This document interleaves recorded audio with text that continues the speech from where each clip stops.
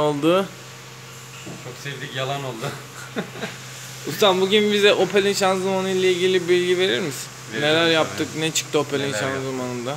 Opel'de genelde uğultu oluyormuş. Genelde hastalıkmış bu. Evet. Öyle duyduk. Bizde de bir adet bir adet Astra var. Şanzımanını söktük, parçaladık, dağıttık. Uğultu var. Ee, biz normalde bozuk olan birkaç bileği değiştirdik ama herhalde bunda bir tanesi hastalık Kronik. olan, kronik olan bir hata vardı. Evet. Şimdi sen bize anlatır mısın? Biz ne yaptık? Ya da bu kronik hata bize ne gibi sonuçlar doğuruyor? Ya şu özellikle bu araç için konuşalım bize elimize gelen Aracı araç. gösteremiyorum şu an plakası Yani göstermeyelim. Ee, Astra J. Astra J. Bunun iki sebebi var. Öncelikle birinci dediğin gibi senin dediğin gibi kronik sebep. O da mahruti bilyesinin yatak ve mahruti milinden daha sert olmasından dolayı. Maruti milini gösterebilir miyiz? Mahruti milini gösterelim. Şimdi büyük ark ayna diferansiyeli oturan, dişli oturan mil. Bu mil. Şu şu bölümü dişliye oturan Aynen. bölüm. Evet anlatabilirsin. Ya bunu biz yani birinci sebep dediğim gibi kronik sebep. O milin bil, e, bilyenin içindeki küçük millerin sert olmasından dolayı bu kronik hata. İkinci hata da ilginçtir. Kullanıcı daha önceden birkaç kere gidiyor. Hani şanzımanımda yağ kaçağı var. Birkaç ustaya söylüyor. Ya o bir tellemedir bir şey olmaz deyip geçiştiriyorlar. Daha sonra yağ eksiltmeye başlayınca uğultu sesi de başlıyor. İkinci sebebi de bu. Şimdi bizim yaptığımız işlem önce şanzımanı dağıttık. İlk önce videoda sen çekmiştin şanzıman nasıl Sökerken. aynen. Ondan sonra şanzımanı dağıttık. Şanzımanı zaten Kerem Usta duman etti. Yo niye? Çalışıyor vallahi. Çalışıyor canım canavar gibi adam. Çalışıyor bir sıkıntı yok. Çalışıyor. Hatta bunu biz erken teşhis yaptık. Çoğu herkes ya şanzımanı kırınca anlıyor ya da ses iyice artıyor. Bu milin kafasını yedikten sonra yani şunu değiştirmek zorunda kalıyorlar. Bu milin kafasını ye- yenmiş bir videosu çeken ustam var. Evet, şimdi o ustaya gelelim. Hüseyin abimiz Nisa Oto İstanbul'da. Hangi semtteydi? Güngören miydi ya? Güngören miydi? Sinan hangi semtteydi? Neyse şimdi söyleriz zaten. Buradan Hüseyin abiye teşekkür ediyoruz. O da kendisi çekmiş zaten. Videoları da kendisi de koyuyor. Aynen. Buranın o Hüseyin abinin videosunda buranın komple yendiği de ortaya çıkıyor. Aynen. Şimdi biz de Abdullah Ustam'ı tebrik ediyorum. Hani Hüseyin Usta'yı da aynı şekilde e, bir noktaya değindiler. Şimdi bu malzemenin nereye geldiğini size göstereceğim. Ve ustalarımın ne bulduğunu size göstereceğim. Şu an elimde böyle sallayıp duruyorum. Bunda bir hata var. Onu göstereceğim sizlere. Şu an gördüğünüz gibi benim milim parlıyor ama e, Hüseyin Usta'nın videosunda bu milin e, yenmiş olanını yani aşınmış olanını görebilirsiniz. Onunkinde var. Biz e, aşınmadan tertemiz bir şekilde kurtardık milimizi. Fakat şimdi ben kovana döneceğim. Kovanda bu mil nereye geçiyor onu göstereceğim sizlere ve onunla ilgili bilgi vereceğim. Geçelim mi kovana? Geçelim. Hadi geçelim.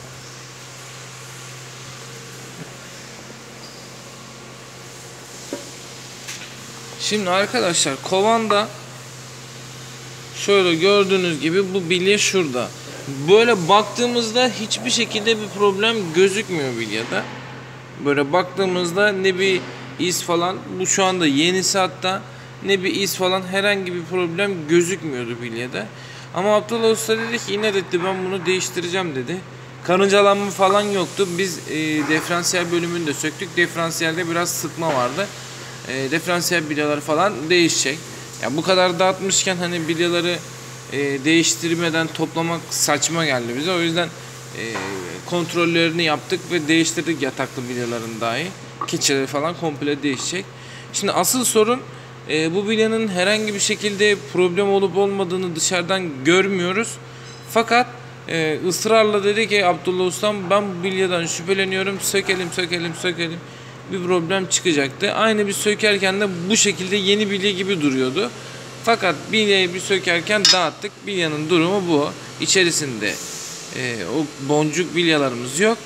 Ama böyle tabi bunda böyle baktığınızda herhangi problem yoktu. E, dağıttık ve yerinden çıkarttıktan sonraki problemi göstereyim sizlere şu. Şu an içerisinde görmüş olduğunuz yer bak bakın bir tarafı yenmemiş Hatta şunu netleştirelim. Yarısı yenmiş, yarısı yenmemiş. Bu taraf yenmemiş, bu taraf yenmiş. Görüyorsunuz. Karıncalanma var. Biz bu bileği değiştirmeden bu şanzımanı toplamış olsaydık priz direk yükü bu bileğe binecekti. Aradaki boşluktan dolayı tekrar uğultu ve ötme başlayacaktı. Bunun da problemi araştırmalarımıza göre bu bilyanın biraz sert oluşundan kaynaklı. Evet. Priz direk bilyasının sert oluşundan kaynaklı. Ustam bu şanzımanın kodu nedir? Ee, HP 0732C bir de 34 de sonu çıkıyor. Yani bu zaten 1.3 Multijet'te de aynı sorun var. 1.6 benzinlerinde de aynı sorun var. Opel'in birinci Opel'in. multijetinde de aynı problem varmış. Ee, 1.6'sında da aynı problem varmış. Bu kadar niye iyiledim bilmiyorum. Ben normalde böyle iyilemem. Arkadaşlar biz Samsun'dayız.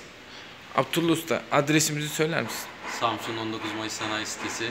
Bekliyoruz. 71. sokak. 71. sokak. Konumdan bizi yanlış biliyorsunuz. 73'e Aynen. gidiyorsunuz. Biz 71. sokaktayız. Diyoruz, bekliyoruz. Bekliyoruz. Biz sizi bekliyoruz. Özellikle Yorumlarınızı bekliyoruz. Sizi Orta- beklemiyoruz da yorumlarınızı bekliyoruz. Bu ara çok yoğunuz. Aynen. Orta ve. Doğu Karadeniz'de Astarı J kullanıcıları bizi bulsunlar. İstanbul ve çevreleri illeri içinde Hüseyin Usta'yı bulsunlar. Hüseyin Nisa Usta'ya selam. Biz Güven Oto olarak hizmet vermekteyiz. İsmimizi de o şekilde belirleyelim. Çünkü bizi oto tamircim olarak biliyorlar. Oto tamircim normal YouTube e, ismimiz ama biz Güven Oto olarak hizmet vermekteyiz şu anda. Şöyle reklamımızı da yapalım yani inceden inceden. Görüşmek değil arkadaşlar. Umarım sizin için faydalı bir video olmuştur. Allah'a emanet olun. Kendinize bakın. Görüşlerinizi yorumlarda belirtmeyi unutmayın.